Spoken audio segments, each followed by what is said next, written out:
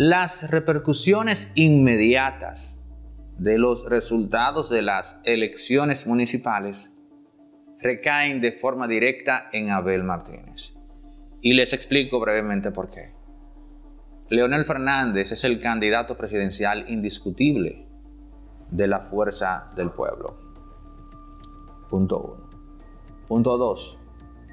En el PLD, Abel Martínez no es que tiene una sombra en Danilo Medina. No. Escuche esto que voy a plantear ahora.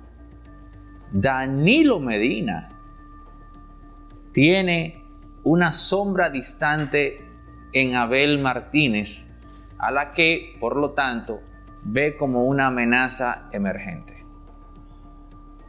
No es Danilo y su liderazgo menguante la sombra de Abel, no, es Abel Martínez y su, digamos, liderazgo emergente o asomo del mismo, la distante sombra del eterno caudillo, o más bien del pretendido eterno caudillo llamado Danilo Medina. Aquel que se niega infructuosamente a desaparecer del ámbito político dominicano.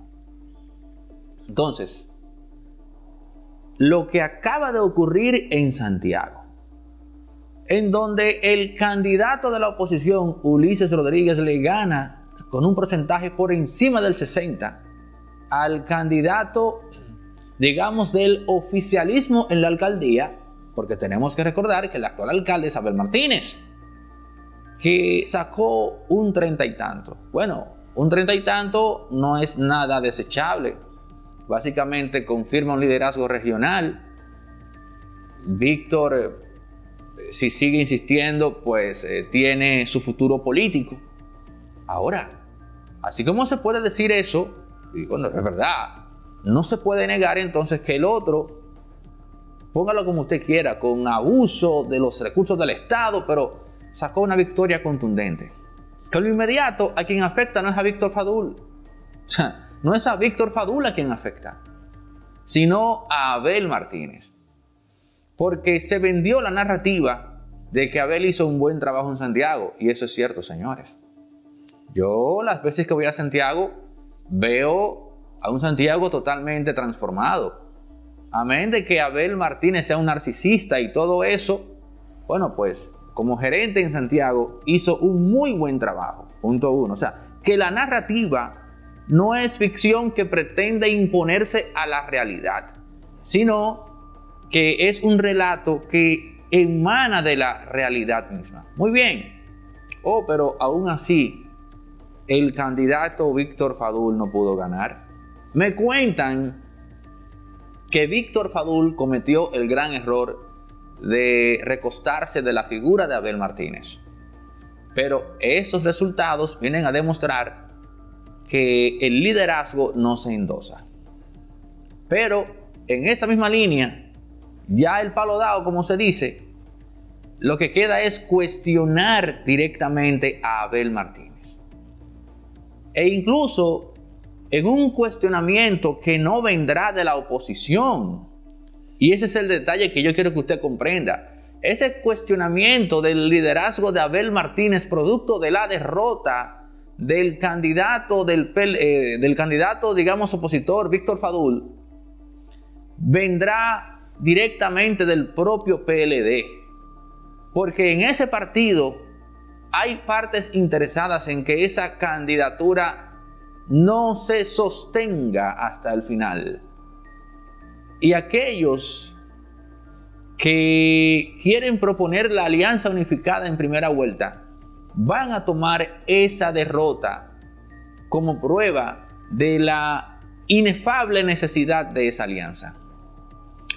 Nuestro candidato, van a decir, que es el alcalde actual y que hizo un buen trabajo, no pudo garantizarle al partido, aún con los recursos del ayuntamiento, ganarle al candidato opositor, Ulises Rodríguez.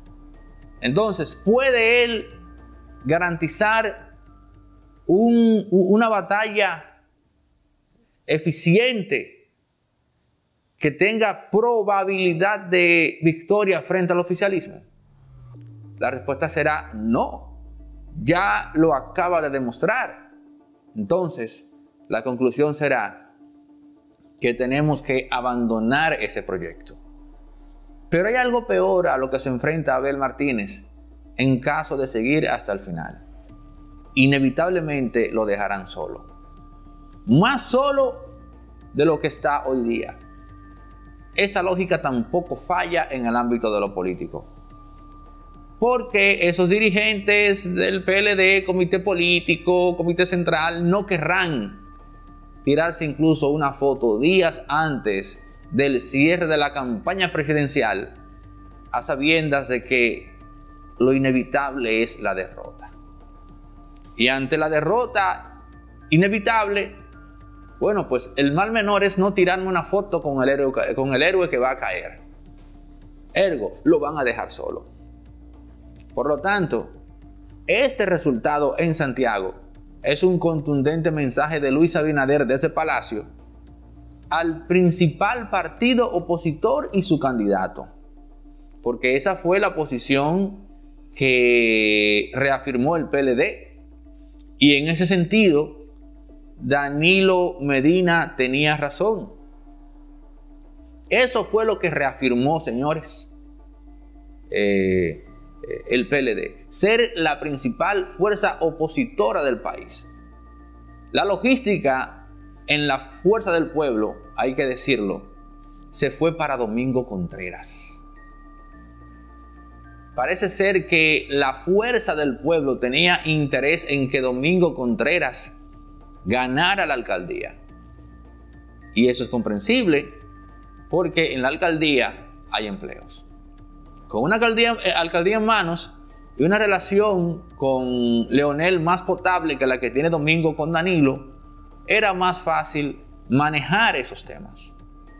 Pero a la hora de la verdad, lo que queda claro a este segundo es que a partir de ahora la candidatura de Abel Martínez a la presidencia comienza a navegar por mares de incertidumbre, repletos de olas de desasosiego ¿Mm? Repleto de vientos que traen intranquilidad. Porque ahora más que nunca, lo que se va a comenzar a repetir es que tiene que darse sí o sí una alianza en primera vuelta. Como el destino irrevocable, ¿no? De cara a las elecciones presidenciales, que no se pueden poster, que no se pueden, digamos, cancelar. O sea, bueno, eh, ya tememos o asumimos cuál será el resultado. ¿Qué vamos a hacer? Bueno, vamos divididos o vamos juntos. Que por cierto, el mensaje que se pretendió enviar con esto fue, señores, que con o sin alianza, eh, el PRM ganaría en primera vuelta. Eso quedó claro y es la, la percepción que quedó instaurada. Los estrategas de comunicación tanto de la fuerza del pueblo como del PLD deberían unirse ahora y trabajar y despachar en conjunto. Independientemente de que, de que Leonel, que sea Abel, no, no, no, no. Oigan lo que estoy diciendo. Los asesores de comunicación al más alto nivel del PLD, así como de la fuerza del pueblo, tienen que comenzar ahora a trabajar en conjunto. Porque les diré algo.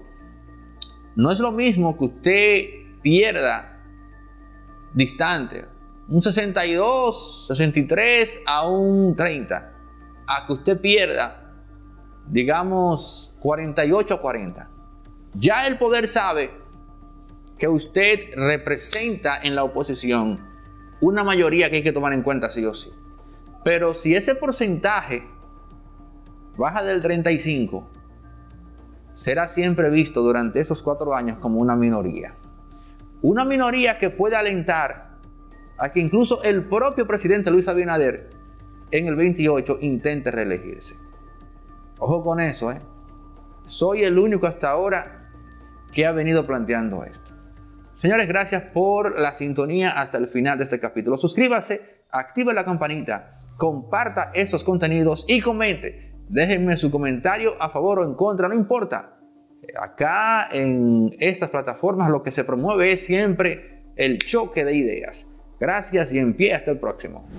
Resorte Media es también productora audiovisual y aquí tenemos espacios eh, rentables para producir contenido.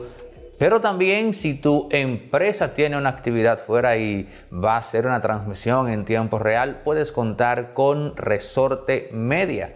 También si necesitas alquilar equipos para filmaciones de películas o eventos, tenemos grúas de 40, 20 pies. En fin, otra cosa, artista independiente que tiene que hacer un videoclip en calidad 8K, 6K eh, con imágenes eh, de stock, bueno, pues lo podemos hacer acá en circuito cerrado con los presupuestos más competitivos. Pero si también eh, requieres asesoría para la producción de contenidos en plataformas como YouTube, también puedes contar con nosotros. Resorte Media, todo lo que necesitas en todos los ámbitos cuando se trata de producción audiovisual. 829-741-361.